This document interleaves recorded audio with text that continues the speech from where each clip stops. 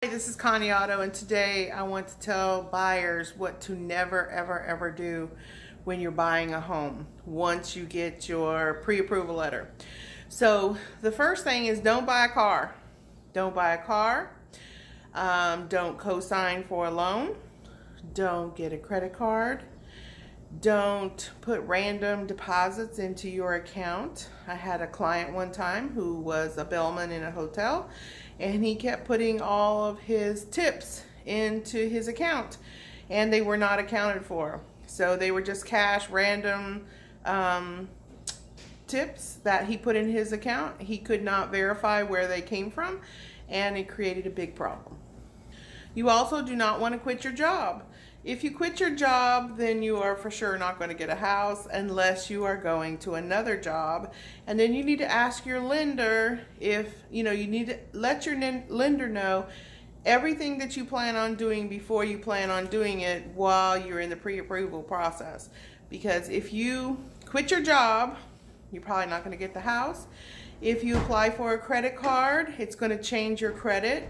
If you're already on the borderline and you you apply for a credit card, your credit's going to go down. So just to recap, so we don't want you to quit your job or if you change jobs, please make sure you let your lender know so that he is aware of what's going on so that any adjustments that have to be made or maybe bills that have to be paid off to compensate for you changing a job, maybe getting less money.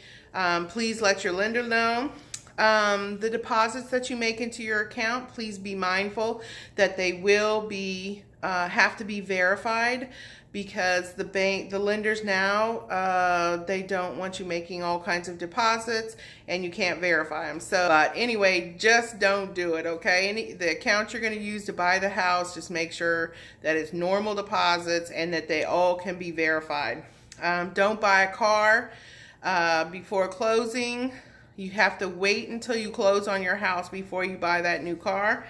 Don't co-sign for a loan for anyone okay and don't apply for any credit cards. I had a client one time call me and there was like a holiday and they were going to get these great rates for this credit card so they could buy new flooring.